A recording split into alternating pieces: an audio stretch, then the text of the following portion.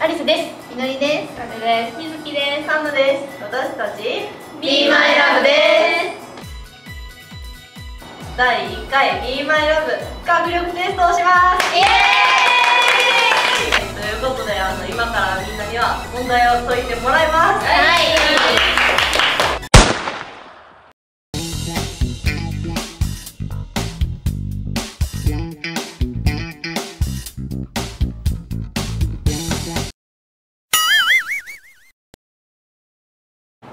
はい、一通り全員解き終わりました。はい。えい難しかった意外と。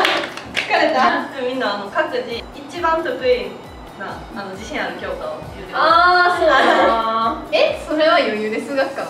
え、数学数学。えーかな？おお。英語は。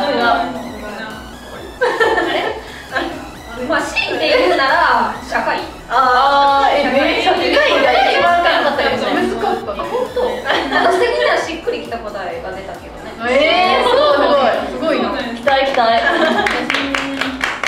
じゃあ採点していきますはい、お願いします。はい採点終わりましたありがとうございます。楽しみ、ちょっと待って。めっちゃ楽しみ。怖いな。なかなかのもんでしたえー、そうそう。どういうこと？え、良すぎて、良すぎて。あ、良すぎて。まあまあまあまあまあまあ今からの順位発表とあと珍回答の発表もしているのでそんな、泣いとれへんやろ。人体とかするやつおらへんのか。絶対ない。おらへんな、みんな真面目そうだったな。じゃあまずは順位発表からしていこうおーいきなしマジマジ怖い怖い怖い。怖いな。いや、まあ余裕、余裕で。まだ最後まで多分呼ばれへんと思うから。そうやな。ここはここは。第3位お56点えー、待って待って待って待って。え、いいよいよ。え、よ。相田楓さんです待って。ほんまに。怖い怖い怖い怖い怖い怖い。やばいかも。あ、そうそう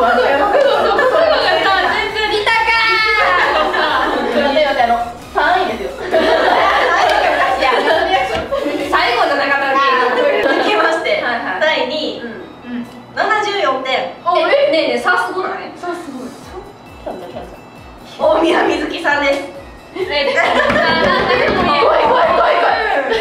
絶対最近できたね。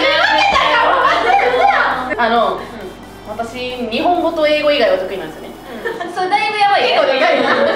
やっぱ一度っていこうかな。ょっと難しいから5教科ありましたからねやばいかも。い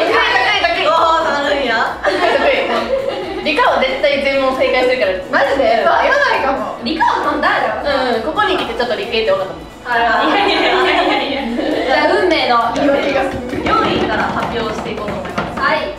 第4位ビリですね。はいビリです。おビリです46点。46点あでも赤点じゃない。間と10点も差があるということでこれを刻んで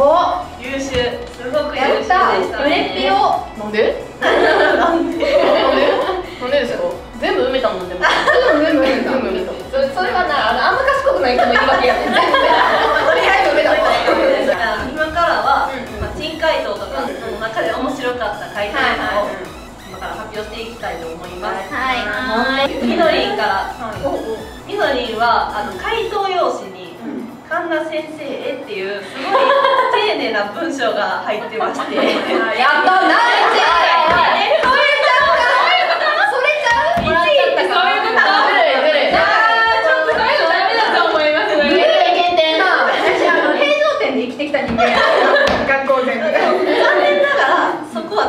のよ大丈夫部分点とかあげるじゃない内心内心でみのりんはあの国語で、うん、維新伝心の。が、えそんな一番わかるやつやん。一番わかる。な合ってるや。んお合ってるやん意味を答えなさいっていう問題で、みのりんの回答、うん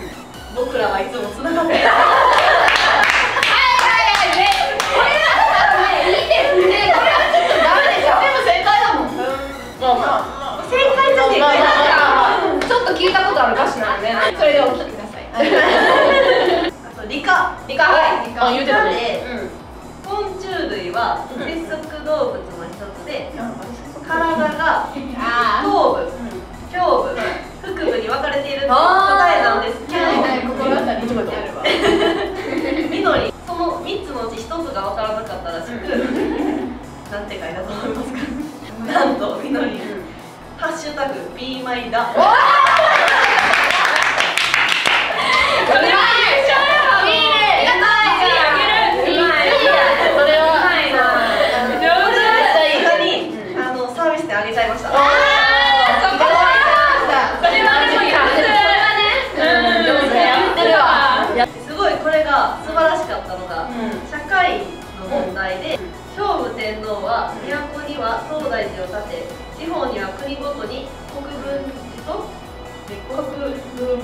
天寺二次国分寺やばい。先生やばい。聖武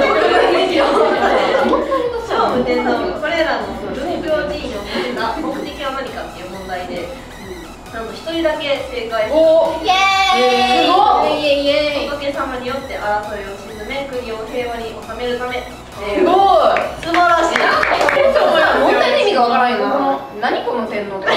知らんかな。東大でしか分からん。知ってて知ってて東大寺ってあれやんななんか教会にあるやつそう。そう。東大寺は分かったそう。やなだって西武天皇って思ってます誰って感じ国分読まなきゃいけない皆様おゆお許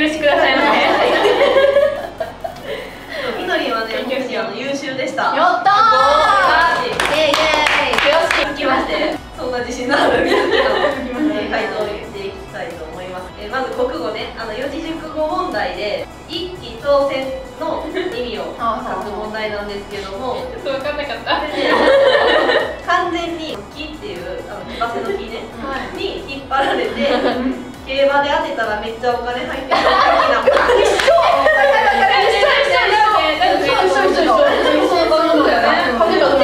合ってるよね合ってる。合ってる。違うんですよえー、何何優れた才能や経験を持っている。っていう意味えー全然違うよ違う違う意味がややこしいなほななんかなんか今みたいなやめてほしいよななんかひどいみたいな数字欲しい？よなえーと一生懸命っていうね、はいはいこれは合ってると思うよ。正解やったんですけど、四字熟語嫌いやけど頑張って全部回答を埋めたこの努力間違ってはない。頑張った。本当に嫌いでさ本当に嫌いなの。20問もあってさ。ほんであの社会ね。これあの自信あるってさっき言ってましたけど同じ問題で、えー当時流行っていた伝染病を止めるため天然豆みたいなやつって書いてるんですけどあの天然豆天然痘あ天然痘って何何病気の名前です。あ病気の名前。はい。天然痘ね。天然痘の痘で豆やったっけ？でなんか豆が入ってんねん。多分あ後から気づいたけど。あれ？ちゃう？あー中高の中ちゃうけ中そう天然痘の痘でえ豆入ってる日本の首都はどこかっていう問題があるこれはねこれ間違えたやつやこれは、まあ、正解なんですけども 水木の回答。東京って言ったら京都の人に怒られそう。どういうことですか？どういうことですか？普通に至って真面目にえ首都って書いてるじゃないですか。首都って都って都って書くじゃないですか、まあ、だから京都の人は自分のその訳ございません。どういうこと？申し訳ございません。あ の気遣いですね。これは皆さんの表題を見してしまいました。申し訳ございません申し訳ございません。そんな気が過ぎました水木もねなかなか高得点で緑と4点差ということお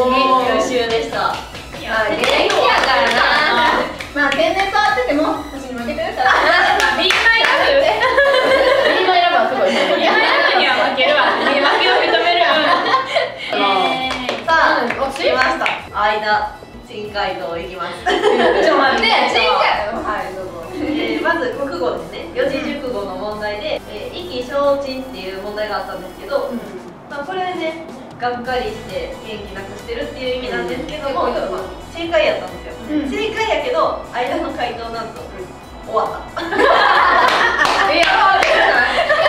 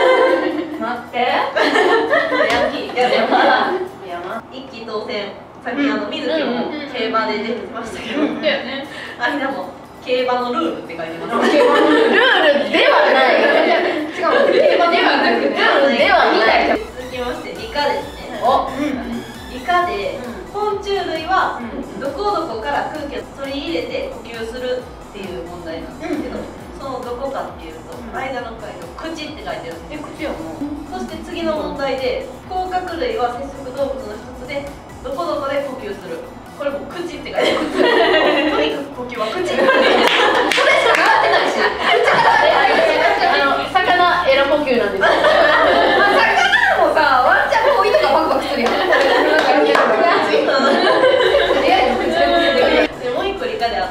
どアサリやイカなどの特徴は筋肉でできた体動脈膜があることであるっていう問題なんですけど何々動物が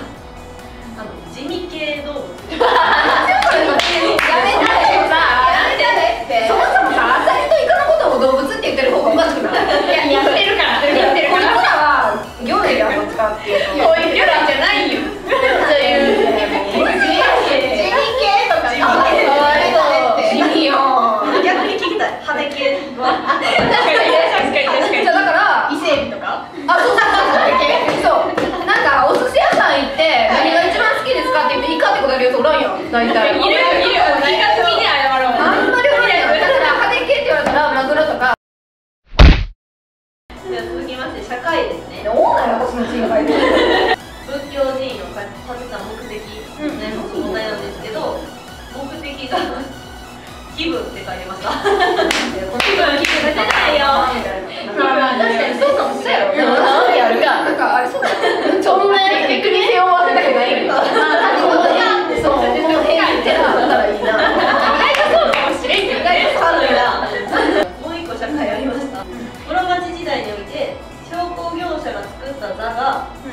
自社や公家に銭などを納める代わりに認められていた特権とはどのようなものか特権を答える特権なのえー、間の回答近くの居酒屋飲み放題かっこ120分特権って大体そのことじゃないの時間まで書いてるめちゃめちゃちゃんとしてる嬉しくないだってさそうそう。あのミールクーポンみたいな感じ。この時代居酒屋あるんかなだってできたねお金の代わりにってことやろ？まあまあまあ。って言ったらまあ大体食やろ。えちなみにこれ正解は気になる正解は営業を独占すること。あーそうかそうか。室町時代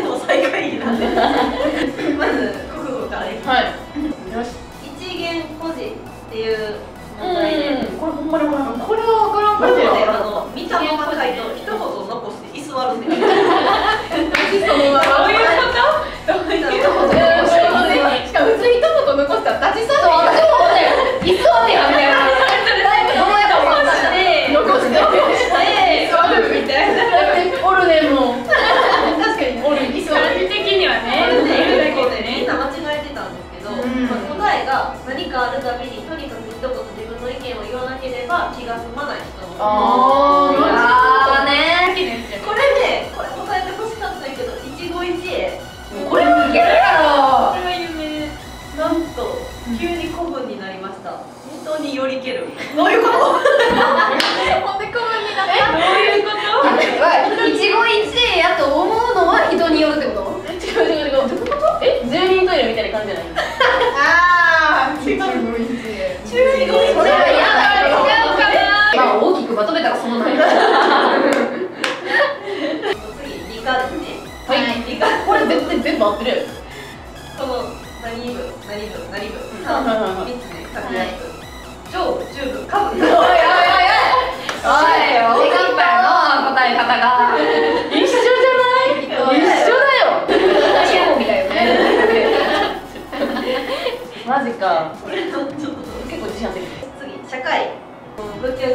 教人さ文句的なやつね、えー自社や公家の使用が自由にできる。これあの自社や公家が施設ではなく人のものに。暗いというか。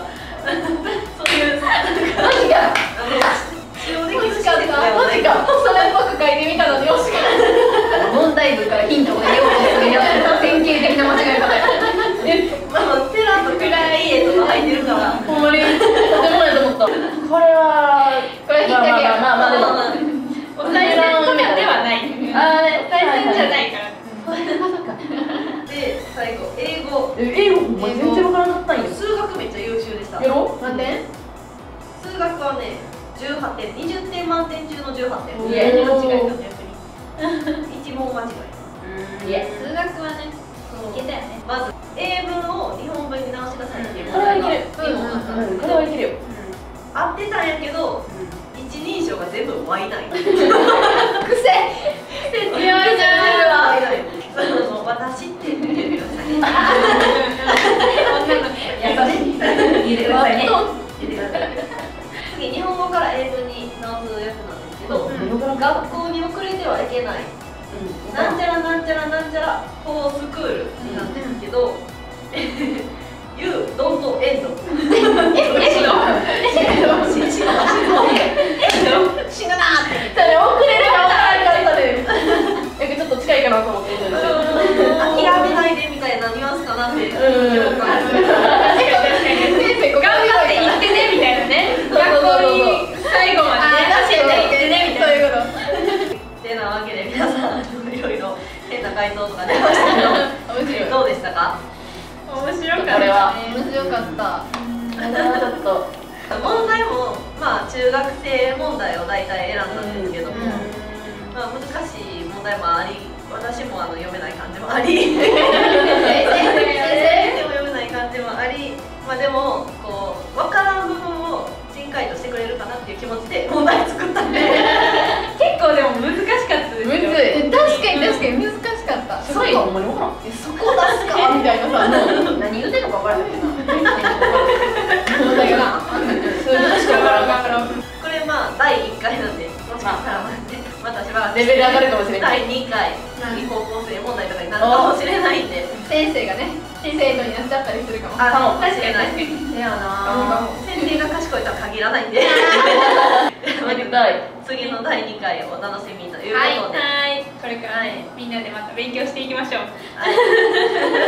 以上私たち Be My Love でした。ありがとうございました。バイバー。イチャンネル登録してね。バイバイ